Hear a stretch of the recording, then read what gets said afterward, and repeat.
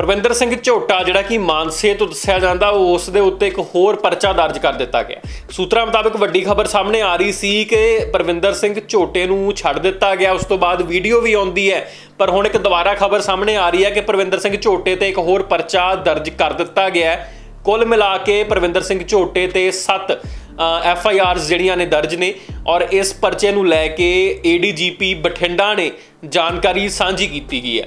ADGP Bathinda range ਵੱਲੋਂ ਕਿਹਾ ਗਿਆ ਹੈ ਕਿ ਅ, ਪਰਵਿੰਦਰ ਸਿੰਘ ਝੋਟੇ ਦੇ ਉੱਤੇ ਇਹ ਪਰਚਾ ਦਰਜ ਇਸ ਕਰਕੇ ਹੋਇਆ ਹੈ ਕਿਉਂਕਿ ਇਸ ਨੇ ਉਸ ਫਾਰਮੇਸੀ ਦੀ ਦੁਕਾਨ ਚਲਾਉਣ ਵਾਲੇ ਵਿਅਕਤੀ ਨੂੰ- ਦੀ ਬੇਇੱਜ਼ਤੀ ਕੀਤੀ ਹੈ। ਉਸ ਦੇ ਗਲ ਜੁੱਤੀਆਂ ਦਾ ਹਾਰ ਪਾਇਆ ਉਹ ਇਸ ਤੋਂ ਪ੍ਰਭਾਵਿਤ ਹੋ ਕੇ ਗਾਂ ਖੁਦਕੁਸ਼ੀ ਕਰਨ ਦੀ ਕਗਾਰ ਤੇ ਆ ਗਿਆ ਸੀ।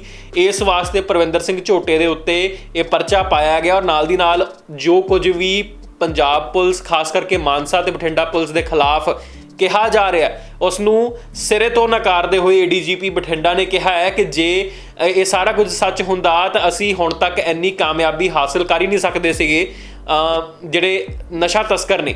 ਉਹਨਾਂ ਨੂੰ ਫੜਨ ਦੇ ਵਿੱਚ। ਸਾਫ਼ ਤੌਰ ਦੇ ਉੱਤੇ ਏਡੀਜੀਪੀ ਬਠਿੰਡਾ ਨੇ ਕਿਹਾ ਹੈ ਕਿ ਪਰਵਿੰਦਰ ਸਿੰਘ ਝੋਟੇ ਨਾਲੋਂ ਕਈ ਜ਼ਿਆਦਾ ਮਾਤਰਾ ਦੇ ਵਿੱਚ ਅਸੀਂ ਜਿਹੜੇ ਨਸ਼ਾ ਤਸਕਰ ਨੇ ਉਹ ਫੜੇ ਨੇ ਔਰ ਸਾਡੇ ਉੱਤੇ ਲੱਗਦੇ ਹਰ ਇਲਜ਼ਾਮ ਜਿਹੜੇ ਨੇ ਉਹ ਗਲਤ ਨੇ। ਇੱਥੇ ਤੁਹਾਨੂੰ ਇਹ ਵੀ ਦੱਸ ਦਈਏ ਕਿ ਇਸ ਸਾਰੀ ਪ੍ਰਕਿਰਿਆ ਨੂੰ ਐਕਸਪਲੇਨ ਕਰਦੇ ਹੋਏ ਏਡੀਜੀਪੀ ਬਠਿੰਡਾ ਨੇ ਜਾਣਕਾਰੀ ਦਿੱਤੀ ਹੈ ਕਿ ਜੋ ਕੁਝ ਵੀ ਪਰਵਿੰਦਰ ਸਿੰਘ ਝੋਟੇ ਨੇ ਦੱਸਿਆ, ਉਹ ਸਿਰਫ 50% ਸੀਗਾ ਔਰ ਦੂਸਰਾ 50% ਸ- ਜਿਹੜਾ ਇਸ ਮਾਮਲੇ ਦੇ ਨਾਲ ਜੁੜਿਆ ਹੋਇਆ, ਉਹ ਪੁਲਿਸ ਤੋਂ ਵੀ ਜਾਣ ਲੈਣਾ ਚਾਹੀਦਾ ਹੈ। ਏਡੀਜੀਪੀ ਬਠਿੰਡਾ ਨੇ ਜਾਣਕਾਰੀ ਸਾਂਝੀ ਕੀਤੀ ਹੈ, ਇੱਕ ਸੀਸੀਟੀਵੀ ਫੁਟੇਜ ਦਿੱਤੀ ਹੈ ਔਰ ਨਾਲ ਆਪਣਾ ਬਿਆਨ ਸਾਂਝਾ ਕੀਤਾ, ਜਿਸ ਦੇ ਵਿੱਚ ਆ ਦਿਖਾਇਆ ਜਾ ਰਿਹਾ ਕਿਸ ਤਰ੍ਹਾਂ ਇੱਕ ਕੈਮਿਸਟ ਦੀ ਦੁਕਾਨ ਉੱਤੇ, ਇੱਕ ਫਾਰਮੇਸੀ ਦੀ ਦੁਕਾਨ ਉੱਤੇ ਆ ਕੇ ਪ੍ਰਵਿੰਦਰ ਸਿੰਘ ਝੋਟਾ ਬਦਤਮੀਜ਼ੀ ਕਰਦਾ ਨਜ਼ਰ ਆਉਂਦਾ ਹੈ, ਸ਼ਰੇਆਮ ਲੜਾਈ ਕਰਦਾ ਨਜ਼ਰ ਆਉਂਦਾ ਹੈ ਤੇ ਜਿਸ ਦੇ ਆਧਾਰ ਦੇ ਉੱਤੇ ਗ੍ਰਿਫਤਾਰ ਕਰਨ ਦੀ ਗੱਲ ਕੀਤੀ ਗਈ ਸੀ ਔਰ ਦੁਬਾਰਾ ਪਰਚਾ ਦਰਜ ਕੀਤਾ ਗਿਆ। 7 ਕਰੀਬ ਪਰਚੇ ਦਰਜ ਨੇ ਪਰਵਿੰਦਰ ਸਿੰਘ ਝੋਟਾ ਦੇ ਉੱਤੇ ਔਰ ਸਾਫ਼ ਤੌਰ ਦੇ ਉੱਤੇ ਬਠਿੰਡਾ ਏਡੀਜੀਪੀ ਨੇ ਇਹ ਜਾਣਕਾਰੀ ਸਾਂਝੀ ਕੀਤੀ ਹੈ ਕਿ ਜਿਹੜੀਆਂ ਦਵਾਈਆਂ ਦਾ ਜ਼ਿਕਰ ਕੀਤਾ ਗਿਆ ਸੀ ਕਿ ਜਿਹੜੀਆਂ ਦਵਾਈਆਂ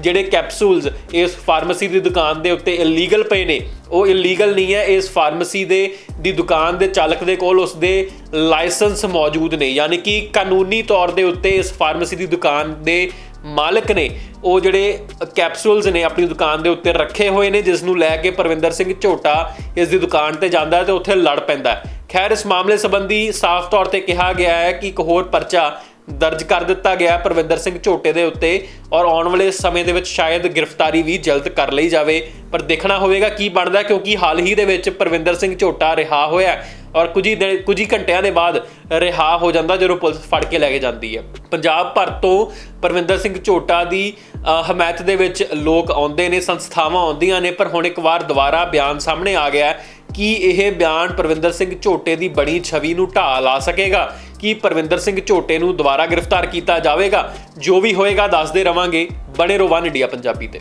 Subscribe to One India channel and never miss an update.